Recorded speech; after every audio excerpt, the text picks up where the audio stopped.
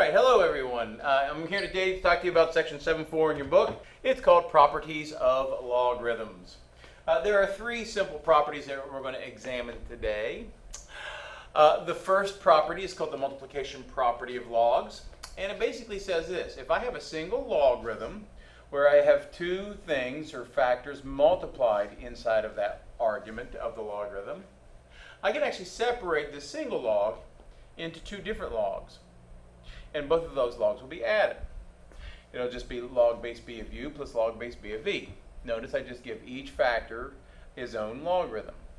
Okay, let's take a look at an example of where we can use this to what we call expand a logarithm.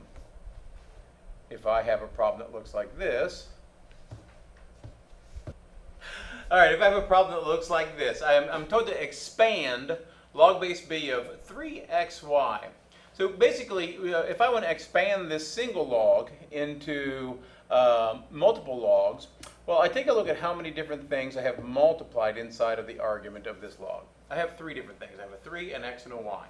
All I do is I expand this single log into multiple logs by giving each factor his own logarithm.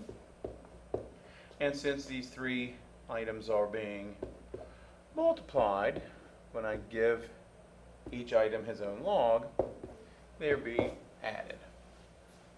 And that's how we use the multiplication property of logs to expand a single log into multiple logs. Now let's take a look at the division property. In the division property, basically it says if I have a single log of two items divided, I can split him up into two logs subtracted, where the top item gets a positive log and the bottom item gets a negative log take a look at where we can use this to expand. In this logarithm, I have log base b of 3x over 2y. Notice I have four different items being multiplied and divided. Each one of these will get their own log.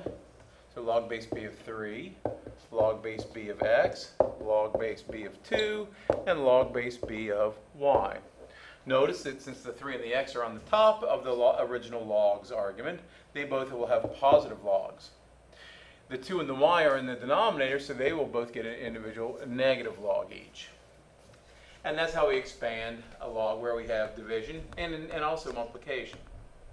The next property is the power property of logs, where it says if I have an argument with an exponent, I can take that exponent of the argument and just move it to the front of the log and multiply it by the log as if it was a coefficient. So if I have, say, log base b of x squared, well, I can rewrite this as just 2 times the log base b of x. And that's how we uh, use the exponent rule, or the power rule. That, the, basically, the exponent of the argument just comes to the front of the log. So let's take a look at all three of these uh, properties and how we can use them to expand uh, a single log. All right, take a look at this. I've got the common log of 2x squared y cubed all over w to the fifth z. I've got one, two, three, four, five different items inside this log, either being multiplied or divided. I will give each of them their own log. So I get log, common log of 2, common log of x squared, common log of y cubed, common log of w to the fifth, and the common log of z. Now, I'm going to assign positives and negatives to this. Uh, the 2 is on the top, so he gets a positive log. The x is on the top, so he gets a positive log. The y, positive log. The w is on the bottom, so he gets a negative logarithm.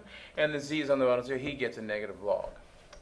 Now, uh, I want to make sure none of my arguments can have exponents um, in these problems when we're expanding. So anything that has an exponent, that exponent needs to come to the front. Common log of 2 doesn't, uh, doesn't change. But in the next one, I've got 2 common log of x plus 3 common log of y minus 5 common log of w minus common log of z. And I've expanded uh, this uh, to its utmost. Okie dokie, let's do one more problem.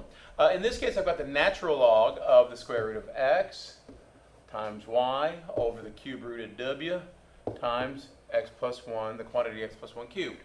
I've got four different things to get their own natural log. So I'm going to go ln of square root of x, ln of y, ln of cube root of w, and then the ln of x plus 1 cubed.